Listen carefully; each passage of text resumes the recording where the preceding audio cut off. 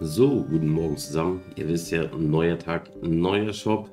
Es gibt auch direkt Informationen, was äh, die Aufgabe betrifft, setze Gebäude in Brand. Ich habe das Ganze jetzt nochmal ausprobiert gerade, aber bei mir hat es immer noch nicht gezählt. Ich weiß, einige haben die Aufgabe anscheinend doch schon hingekriegt. Warum auch immer, ich kann es euch nicht sagen. Bei dem einen hat es funktioniert mit einer Tankstelle in die Luft jagen. Der andere hat ein Haus angezündet, der andere hat es mit Bogen gemacht. Aber ich kann immer nur sagen, bei mir zählt es halt leider noch nicht. Ich habe die anderen Aufgaben für die, die es schon geschafft haben, schon hochgeladen. Gerne reinschauen, wenn ihr ein bisschen Support da lassen wollt.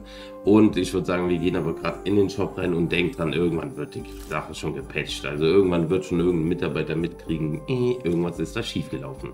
So, ich würde sagen, wir gehen auch direkt rein in den Shop. Haben wir einmal das Poki-Emote zurück. Aber kurz in eigener Sache, wenn ihr natürlich noch Support da lassen wollt, gern Creator Code eintragen, YT-Family. Grüße gehen an jeden Einzelnen raus. So, dann gehen wir mal ganz schnell durch. Also einmal Poki Emote ist wieder zurück. Dann Adeline mit passendem Rückenaccessoire. Dann Propellerstäbe. Dann Fluoreszenzflieger. Lol, es gibt Wörter in Fortnite. Also. Dann ein bissiger ist wieder zurück. Dann kleiner Mamper. Oh. Dann Laserbeißer. Ja viel zu teuer. Und der Himmelsjäger ist ebenfalls wieder zurück. Und die Propellerhacke. Propellerhacke, aber die bewegt sich nicht. Also irgendwie langweilig. So, des Weiteren ist die Turmspezialistin wieder da. Schöner UG-Skin. Dann Knight Rider mit passendem Rückenaccessoire. Dann, ich mag sie überhaupt nicht, die Pickaxe. Nicht wegen Schwitzern, aber weil sie jeder spielt. Egal zu welchem Skin, so wird einfach gespielt. Also da ist die, der Goldschläger schon deutlich besser, weil es wenigstens passt. So, weiter. Dann haben wir den Eiszapfen wieder mit drin. Dann mutige Haltung. Und Ruf zur Schlacht.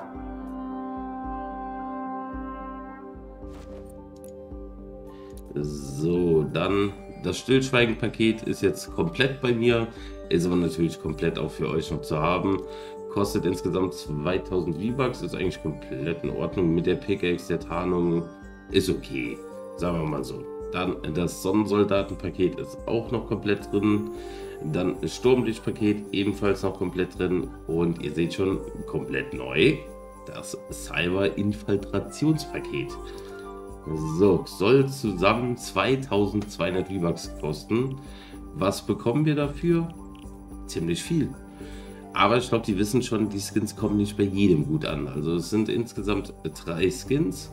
Und das für gerade mal in Anführungszeichen 2200 V-Bucks ist eigentlich schon günstig.